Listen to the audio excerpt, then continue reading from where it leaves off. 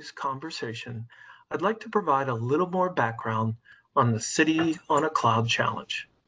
To honor cities and states tapping the cloud to improve operations and citizens' experience, AWS launched an awards competition that highlights successes in public sector cloud adoption called the City on a Cloud Challenge.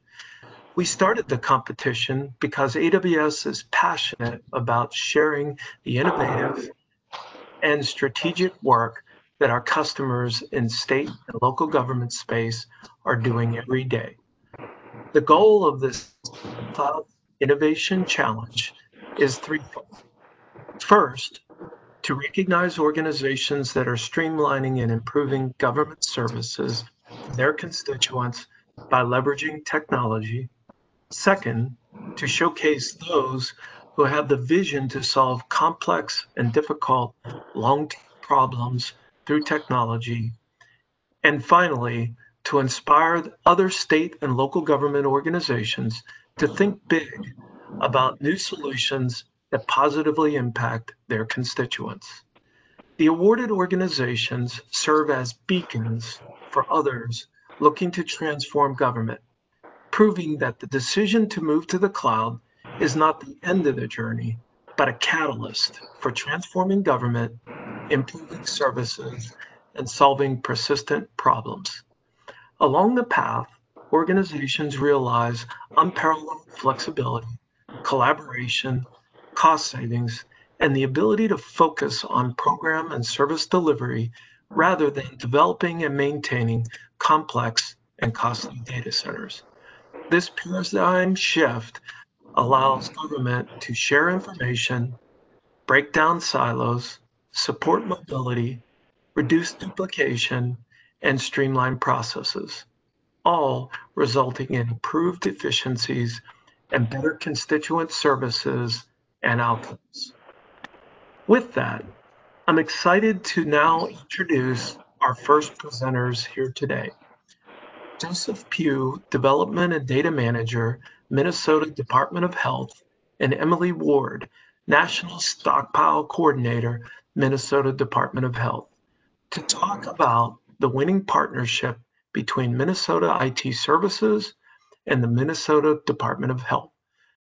Um, my name is Emily Ward, and I'm the Strategic National Stockpile Coordinator at the Minnesota Department of Health. I work on public health emergency preparedness and response planning.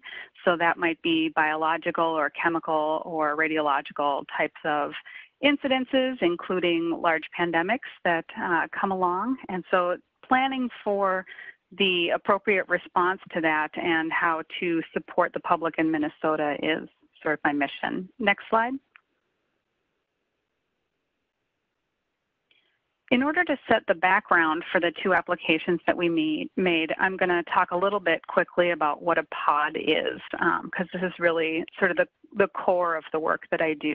A pod is a point of dispensing, and you can see the CDC definition is here on the slide. But basically, if something happens and you need to get medication or a vaccine or an antidote out to the public very, very quickly, that creates some logistical um, and planning issues. There's communication issues, and there's logistical issues, and there's um, how to get a very large population into spaces that they may not be aware of or didn't know existed before. So um, you can think of it sort of like a, polling site when people, you know, go vote at a school or some other public building, just for that one type of um, evolution.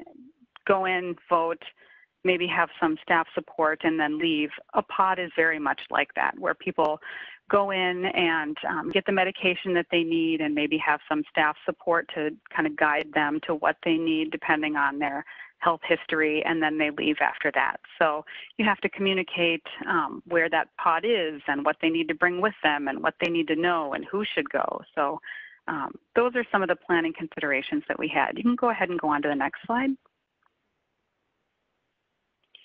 So here are some of the problems that we were trying to address in creating the, the two applications that we did. So the first problem is time it may be extremely critical.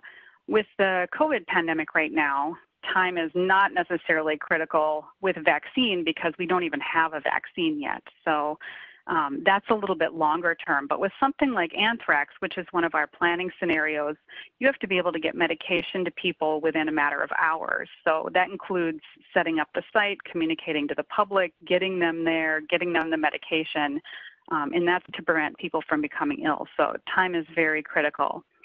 The next problem that we had is that people make mistakes.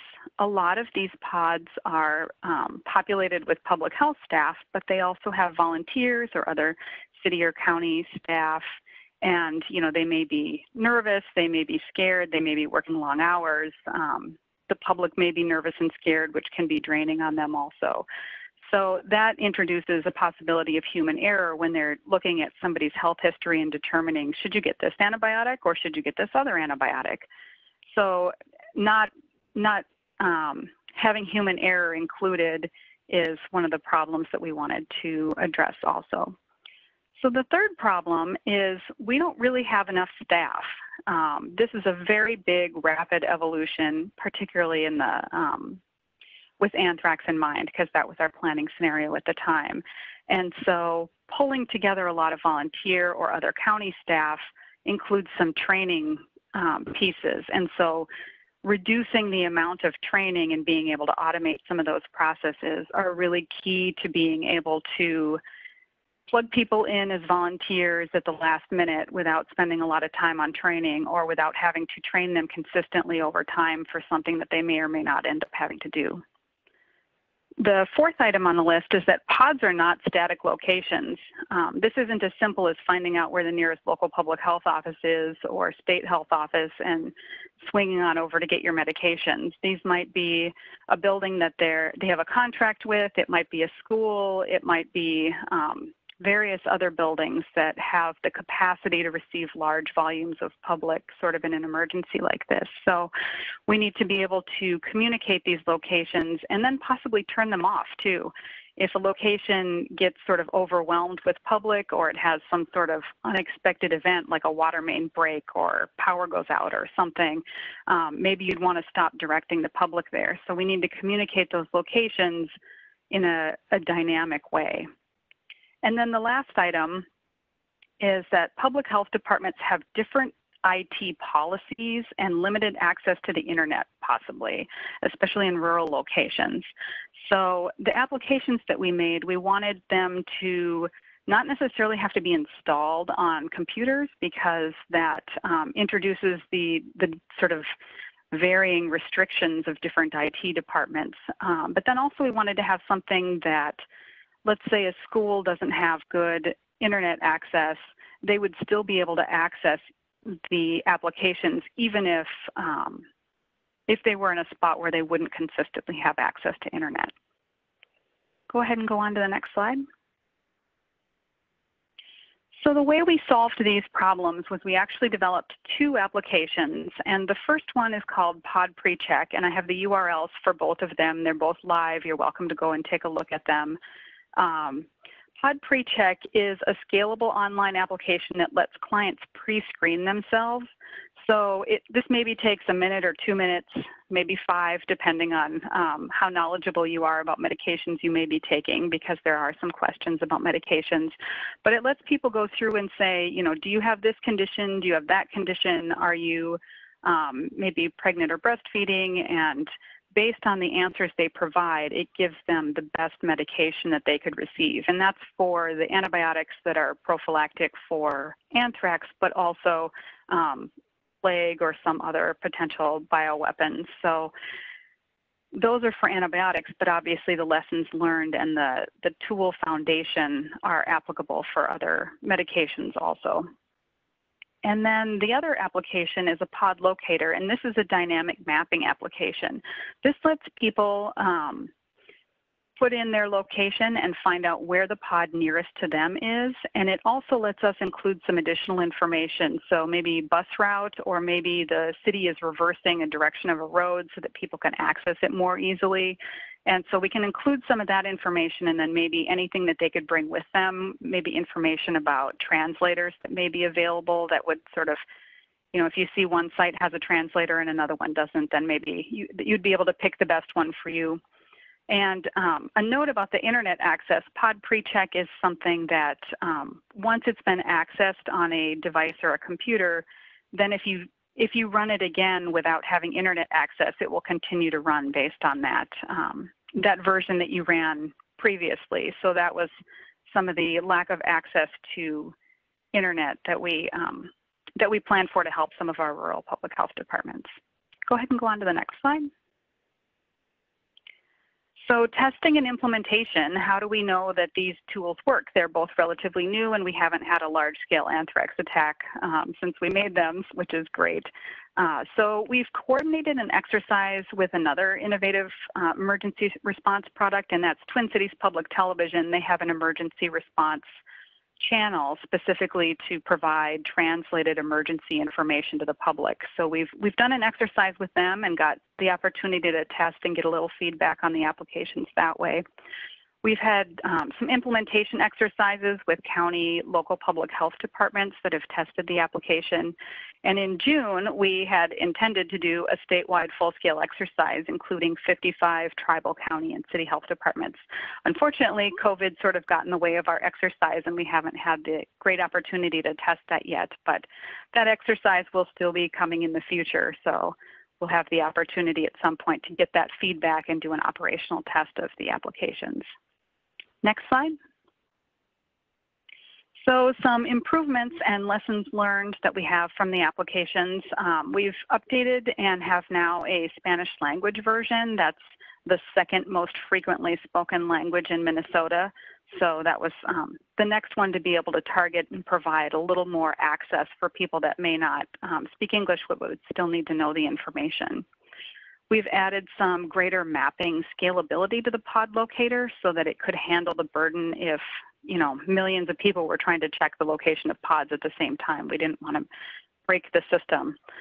And then added some, some help buttons to help um, people filling out the forms on Pod PreCheck know a little bit more information about why certain questions were being asked.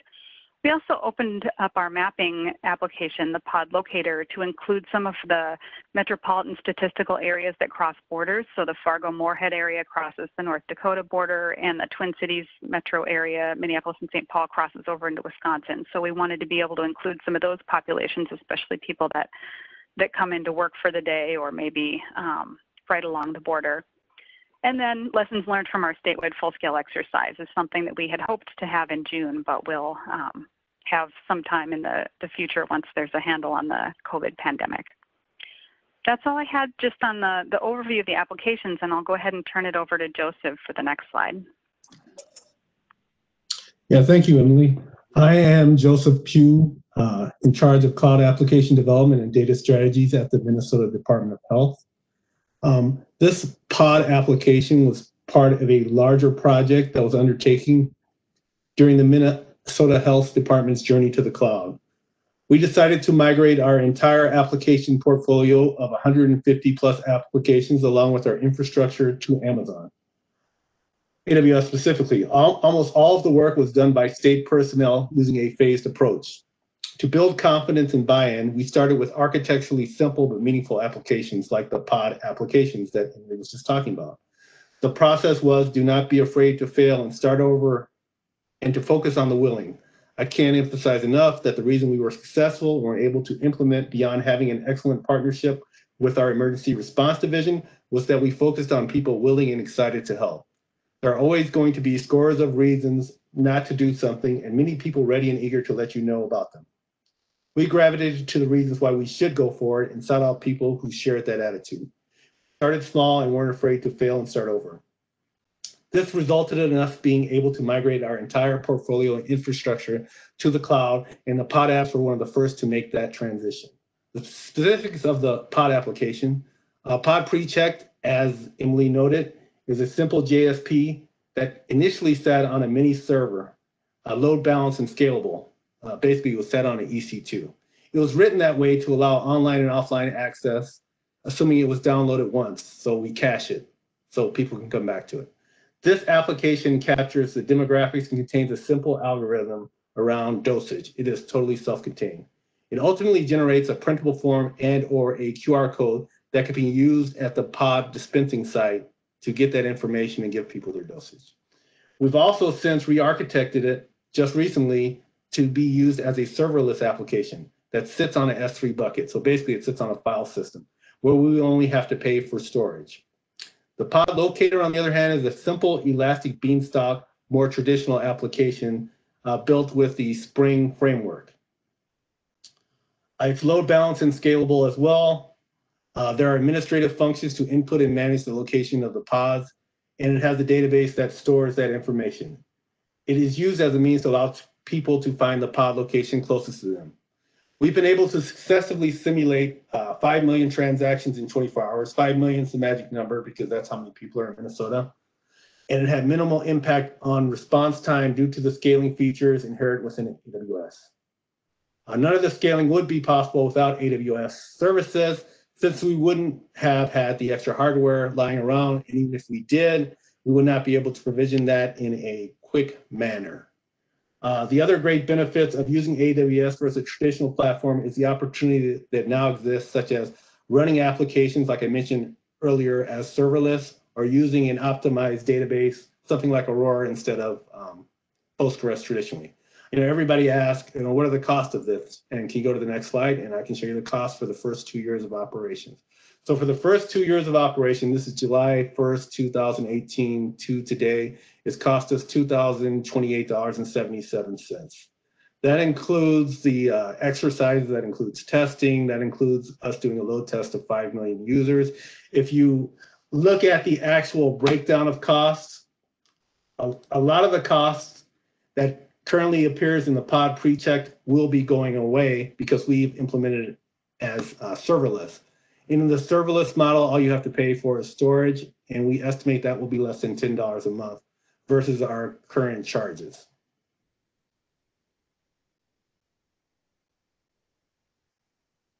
The other thing we're looking at for the pod locator, which has a bigger cost, if you look at the RDS, I'm doing this and I'm thinking I have control over this uh, um, PowerPoint, which I don't.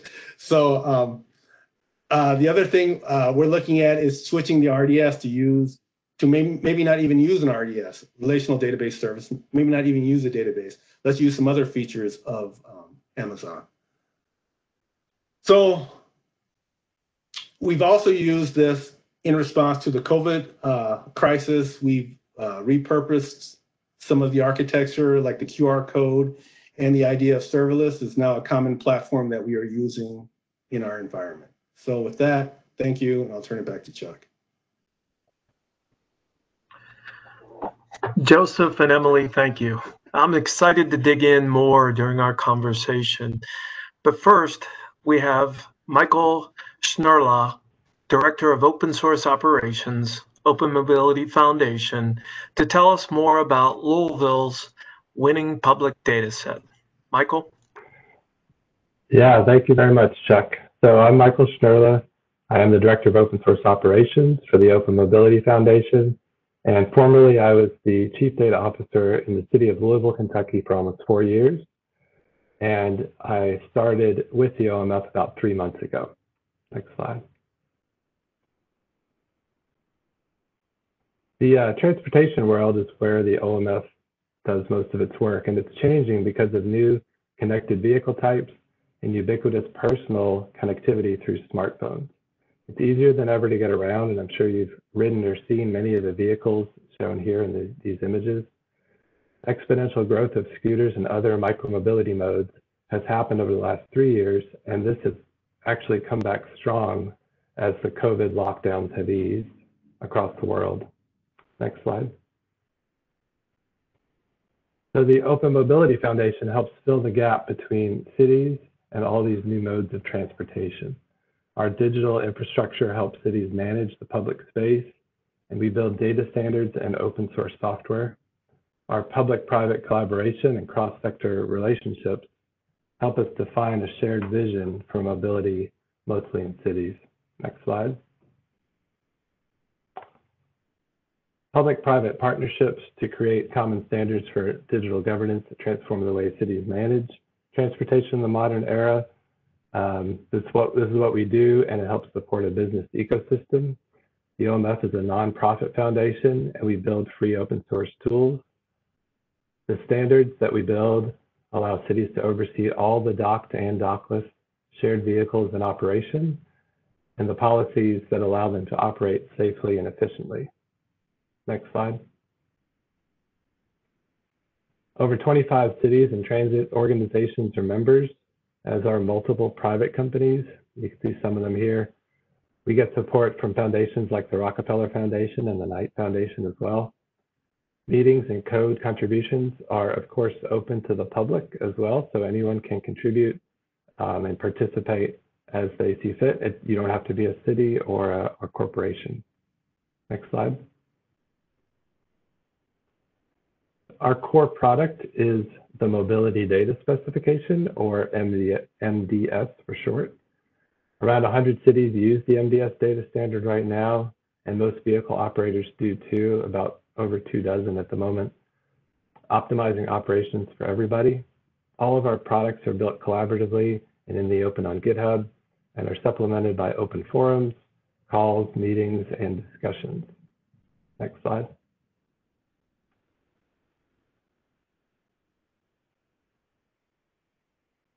So MDS is used uh, by cities for compliance and policy enforcement, letting cities manage the public right-of-way remotely with very few staff, and they ensure devices and operators are following all the rules that are set up uh, by, the, by permit applications.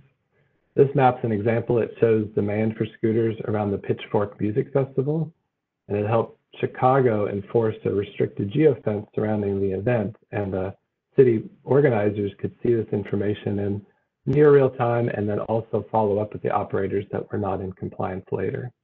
Next slide. The other thing that allows is digital native regulation. So instead of communicating everything by a PDF or a phone call or something like that, you can actually digitally specify restricted areas of riding, no parking areas, speed restricted areas, uh, preferred parking locations. You can do all this through, um, you could build it in ArcGIS, let's say, and then publish it through the MDS API back to the uh, to the operators so that the city can regulate all of this digitally. Next slide. The other thing it allows is equitable distribution of devices. So um, many cities require placement of devices and scooters and other bikes as well in disadvantaged neighborhoods. So in this example, on the left is uh, average residential property values by census tract. And you can see in the circled green area, that's where basically low income, a section of the city of Louisville that has a low income area and then on the right, you can see deployments of scooters before these requirements were put in place. So um, instead of deploying to these areas, they're typically ignored, but the city can help through policy and through MDS enforce these new regulations and distribution requirements. Next slide. The other thing it allows for is regulation of safety and speed, um, looking at road speed limits, popular trips on those roads, uh, riding at nighttime if that's not allowed, and where maybe street lighting is needed based on time of day and where people are riding. It also looks at infrastructure, um, where different maybe protected bike lanes or signage might be needed for all the where everyone's riding. That information comes back to the city. Next slide. Another example of infrastructure planning. So in this case, this is a real example. The purple line represents a section of road that was going to be redone. It's a large project area that was going to be made more safe for everybody.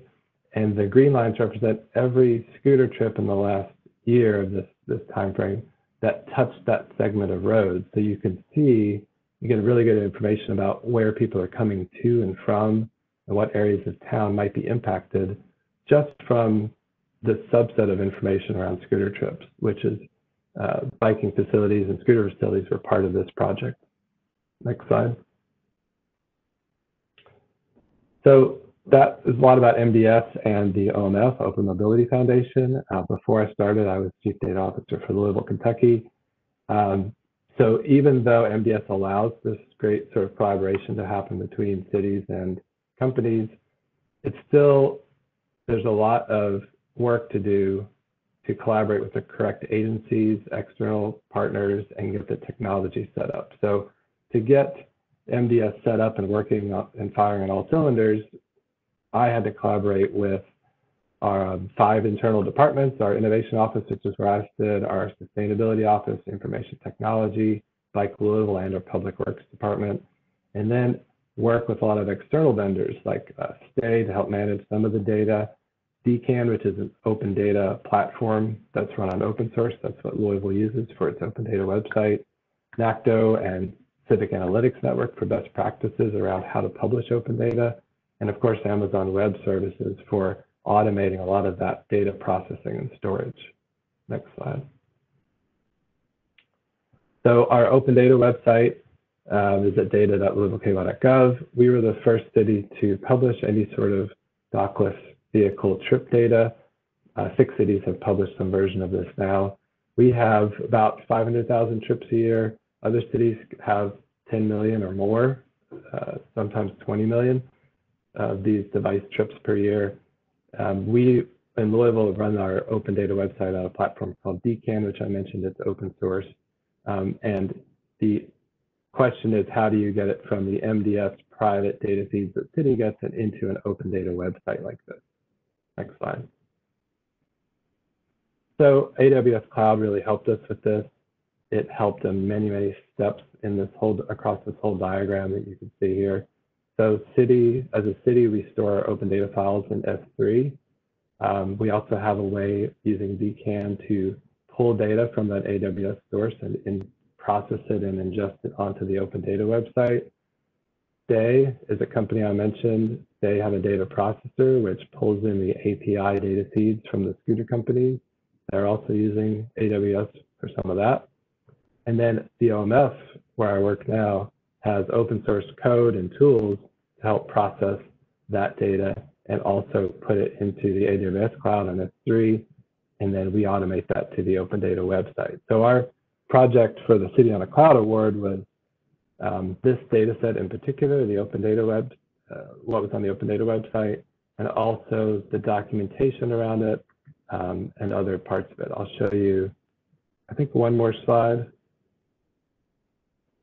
or maybe it was, uh, I think there was a previous slide on privacy methodology, but nonetheless, that the privacy methodology, the way that we um, process that data in a privacy conscious way and publish that code on our website and online, um, I think helped us win this award and helped us be transparent with how we collect and use data for residents.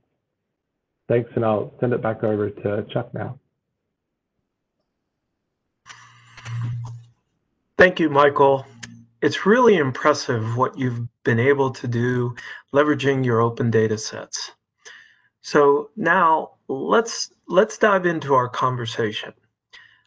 Hearing from both of you, it's clear that outside of the box thinking was required to bring these ideas to fruition.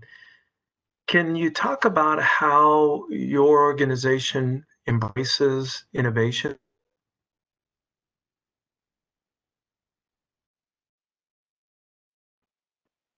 Yeah, I, I could start. Maybe it's a more clear-cut fit um, because I was in the Office of Civic Innovation, which is a department in the city of Louisville. So we, the mayor, Greg Fisher, he actually carved and created that office on purpose. He he made it happen. Um, it's been around now about uh, say uh, nine years, um, I think we were the first innovation office in the nation, but nonetheless, that what that does, it's a very small office, very lean. It's really just people's salaries. Um, there's only four people in the office total, and we tried to connect the dots and everything. And, and the great thing about Louisville and some many other cities now is that cities allow for this innovative space, this way to take a fresh look at new problems in a cross-departmental way, collaborate with outside agencies, use new technologies. Our office actually helped us help the city of Louisville get on AWS for the first time um, and make that more of a norm within IT. And I think without innovation and and looking at those uh, things in a quick and dirty, effective way where you can actually abandon problem, abandon an idea if it doesn't work, uh, and be okay with that. Um, I think that's really essential and helped us move that forward. Emily and Joseph, uh, how about yourself? How about collectively how you take a look at uh, innovation and embracing it? Well, I kind of touched on that in the uh, my presentation. It's the main thing is to me is to form a coalition of the willing. There are always scores of people and scores of reasons not to do something, and many people ready and eager to point out, "Hey, what about this? What about that?" You have to gravitate to the reasons to go forward and find a group to work with that is open to innovation. In our case, it was Emily's team given their uh, position as having to respond quickly to things. Uh, as far as the broader um, migration picture in Amazon, what we did is we started with these smaller applications to get ground root support and have successes. So once you start getting successes, people become more and more open to innovation. So as an example, you know, we moved 150 applications. If we would have just came to them with a project plan and say, hey, here's the date you're going to move your project, it would have failed miserably. We were successful because we could point to small efforts like, not that they're small and meaningless, but you know, not giant architectural efforts and says, hey, we're successful with this, let's try this. So that's how we approached it and my mindset isn't as um, technical with the innovation response, but I guess I try to have a customer service mindset. So looking at local public health and our tribal health partners as um, customers and knowing what their requirements are, um, looking at tools that we could build that would just help them achieve their goals as efficiently as possible.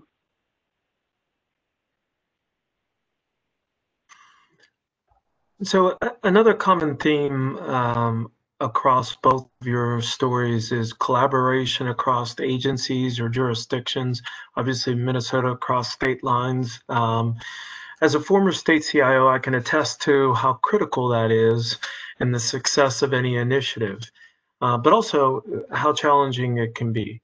I'd love to hear about some of the challenges you faced when launching collaborative initiatives and how did you work through them?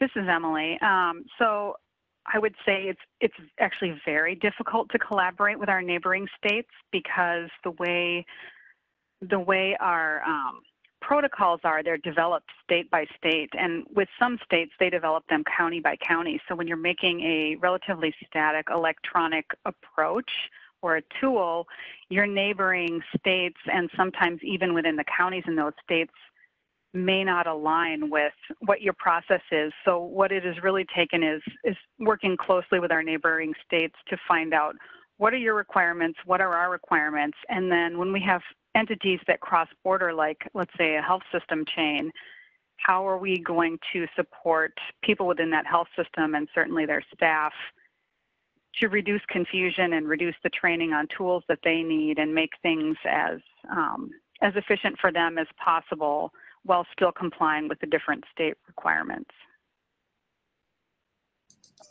I would add from a technical perspective, we also have uh, you know collaboration necessary between our various departments at the state of Minnesota, and we have an overarching uh, central IT department. And you know, to get collaboration, the great thing about AWS is you're bombarded with data.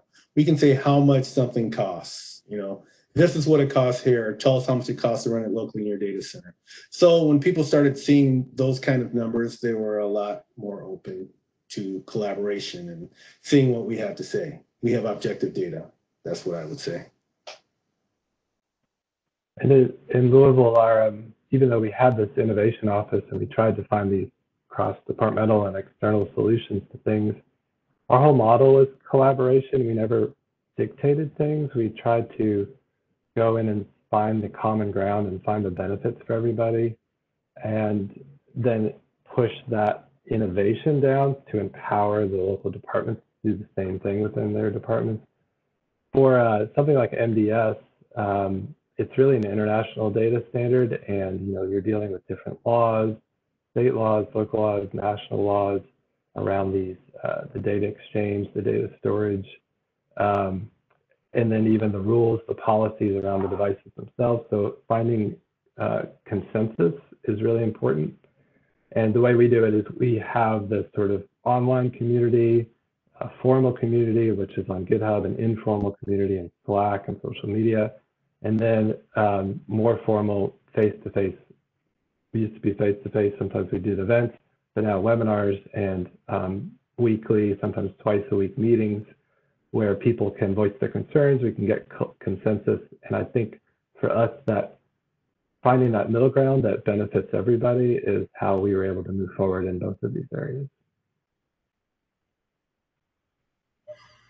Very informative. So now let's let's talk scale for a second. Um, one of the primary benefits, obviously, in the cloud uh, is cloud-enabled services the ability to scale quickly, right? So since you won the City on the Cloud challenge last December, how is your initiative scaled? Um, how do you see it scaling then in the future? I, can answer this. You know, I, I touched on this in the presentation. The big thing was that you know it, it could scale because it's a pretty small application and it scaled effortlessly. But what we've since enhanced it to do now is that we are changing the technology to take advantage of services like uh, the serverless, where your application just sits on an S3 bucket and has a Lambda function that calls it. In English, that means it sits on the equivalent of a file system and there's a little script that calls it. So that scenario, you only get charged for the storage you're using. And it's such a tiny little app relatively that you're talking about dollars per month instead of you know hundreds of dollars. So when it scales up, you're just have you're basically copying a file over and over and over. So that has been wow, that's been very, very valuable. And like I said during the presentation, we don't have to provision any more equipment. It's all magic behind the scenes in Amazon. So that's the big benefit. On the other side, which is the pod locator, which in fact needs to store some um, data with state, uh, we are exploring moving from a proprietary uh, database to the Aurora, which is Amazon's database. We've also talked about not even having a database at all. Why don't we use something like a data lake structure where it can sit on a you know a JSON document? So we've looked at all those kinds of things to help with scaling and speed of response. And we have simulated 5 million people successfully without any issue at all. from my perspective, scalability was the most desirable feature. And um, being able to tell local public health and the community that yes, this application will still work when 5 million people try to access it, um, or perhaps more than that if other people are just curious. Um, like that, it's very important that it is stable under that sort of surge of, of usage, even though most days we're not probably going to use it at all. Yeah, and when dealing with this mobility data, scalability is also important right out of the gate. Um, you know, with Louisville, we had half a million rides a year. City, other cities have 10 million or more. Um, with each of those rides, though, there's a bunch of other data going back and forth and, and data about those trips. Um, and some of it needs to be processed in real time or processed for insights and action. And some of that processing happens in the cloud as well. So what I found interesting working on uh, MDS and also some former projects, open source projects across cities uh, in the city of Louisville, like with a, a Waze data processor, getting data from Waze, um, was that the cloud costs were almost the same for every city because the main cost is just setting up that infrastructure. So, you know, we're running a database and then serverless databases save you money or running a, a, server, but you know you can go serverless and use Lambda, and that saves money. But the quantity of data um, coming across does not really add much to the cost, uh, you know, because the data storage is so minimal in cost, and even data transfer is pretty minimal in the cloud. So um, the cost of running a lot of these systems that we've built open source tools for for cities end up being, you know, maybe $200 a month, regardless of what city you're in. So uh, still scalable. You can still process more data, but the, interestingly, the costs are about the same.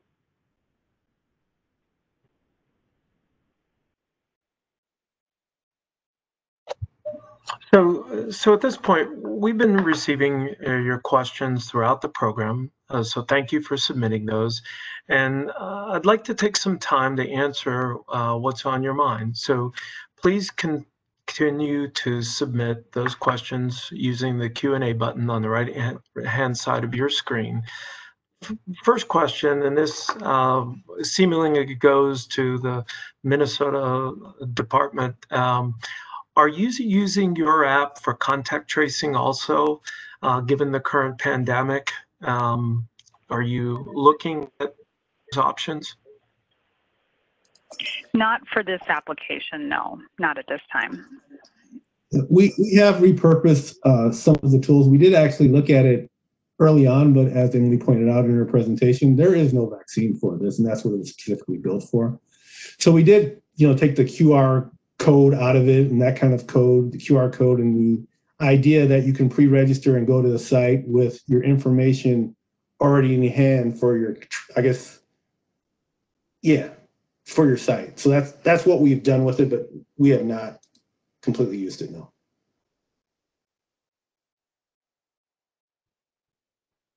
Okay. So, um, given the shared responsibility model of data, what do you recommend to your clients or customers as a data security solution? Joseph, if you want to start, and Michael, if you want to chime in then. Well, that's a big question. In the pod pre-check and the pod locator specifically, uh, the data is kind of transient. You're in an emergency situation, so you got to do what you got to do. But you know, if you look at our migration overall to the cloud, you know, the things we did was we led with security. Every application was scanned. Any any vulnerability we found, medium or high, we had to remedy. AWS has built-in things. We worked with a security architect to architect the networking and all those kind of things in zones to make it secure. So, I mean, I just think you just have to uh, lead with security. I guess that's as simple as I can say it. Yeah, and with us, we um, we had to be conscious of security as well because even though we're not with MDS, for instance, not getting any sort of sensitive information about people, names, or anything like that, it still shows movement of anonymous individuals, and so that is sensitive, and we want to treat it right. So um, one great way that we handle that is we work with um, since the code is all open source, anybody can go and re review that code and find problems. And uh, we've had, I think, probably close to 100 people contribute to the effort now. So there's a lot of eyes on it. And by making it, publishing what you're doing out there, uh, I think that really helps a lot with security. But beyond that, um, many of the tools that we've built that are open source that people can use that just run things out of the box, those have also been vetted for security. They're usually run through city IT departments for validation um, and to allow the proper access to just the right amount of people. Um, so I think that working with your internal departments is really critical and then validating the, the code and, and asking those questions of your vendors is important as well.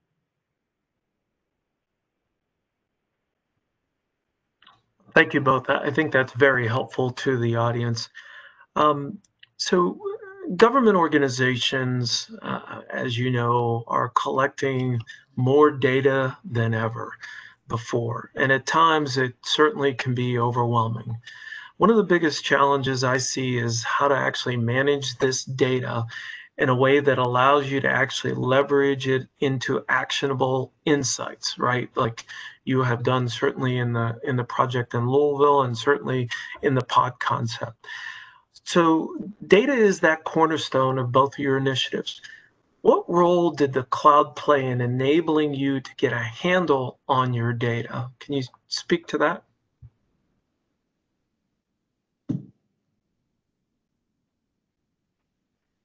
Yeah, I could go first. So um, I think that the best thing about the cloud is, to me, in this regard to this question, is the ability to move pieces of data across different systems. And so, you know, you're getting data from scooters that go to uh, individual companies, and then that comes to a city, a subset of that. And then the city has to put a subset of that data somewhere, and then do some processing on top of that, and then push that out to a visualization application, which I didn't show in my diagram, but things like Power BI is what we used in Louisville to visualize a lot of the data and make dashboards and, and connect directly to the cloud data source. Um, so I think um, that whole movement of data is really important. And that's where the cloud can really benefit because it helps automate that data pipeline.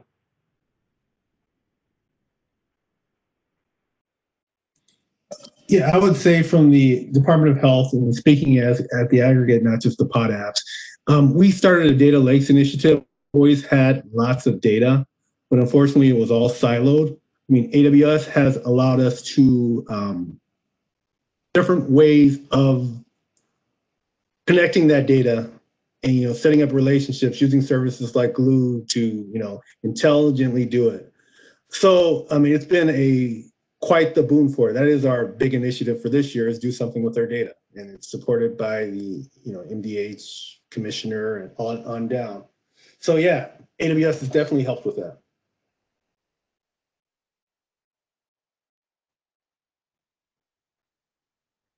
So another question uh, there is level of automation you've managed to achieve for continuous integration slash deployment pipeline.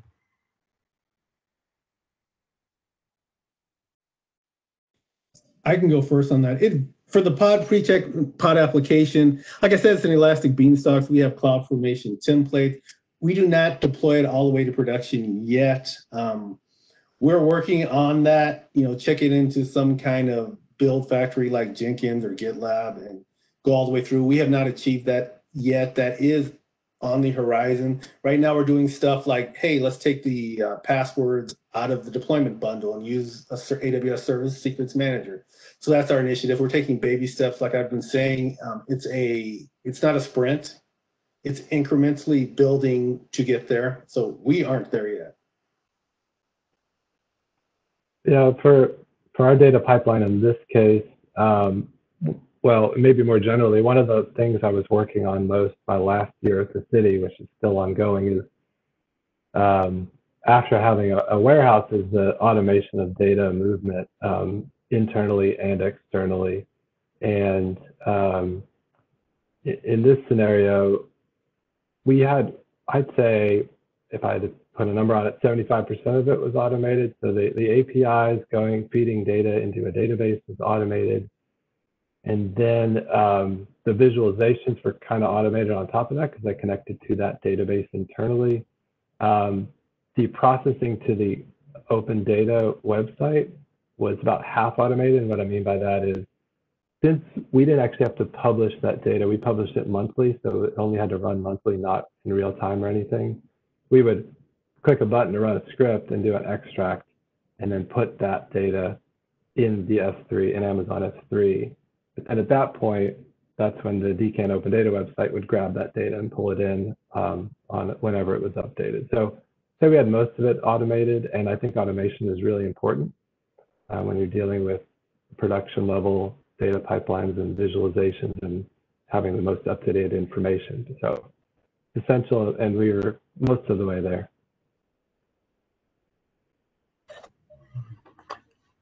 I'd like to end today's program by leaving our audience with some concrete takeaways around how to leverage technology to solve problems and deliver better constituent service.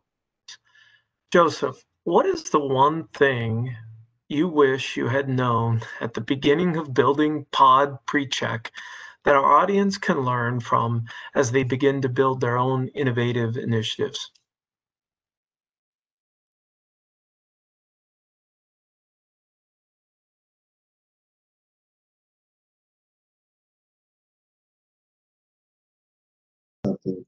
So just focus on people that want to go forward. Gravitate to that and start small. Don't, you know, uh, spec out everything at once. Do small steps, and that'll get you there. So that's what I would say. Okay. Uh, Emily, how do you maintain innovation in a time of crisis like the current pandemic? I think being able to have a process for collecting lessons learned, whether that's hot washes or formalizing some type of process so that you're understanding what worked well, what didn't work well, and what do you need to take into account as the situation evolves so that you can continue to provide support that's needed, um, but not also continue to give people maybe a product that's not working for them. So being able to, to make those course corrections as you get more information um, is very helpful it was our hope to do that with the exercise process this year and and be able to have some operational testing and then make some course corrections based on that. But uh, that'll happen eventually. You certainly will get there. I know that, uh, and you'll make sure that you do that and then incorporate them. So, Michael, what is the first step towards building open data sets, and what is the first milestone our audience should be working towards? Um, you know, it. I think you run into it if you haven't done a lot of open data work. You run into a chicken and egg thing. So you might want to start concurrently on a lot of different initiatives. So one is you really need, I think, buy-in at the top level. So you need your mayor or someone else, um, maybe your IT director or someone in the innovation office to really have that vision and that push to make it happen. So you need to work that out and then set that up into a city policy. Um, and then beyond that, concurrently, you need to find the right individuals in every department that's willing to go along this ride with you. Um, you can't do it yourself. You have to get, and basically, you want to try to empower those people and find the right people to empower.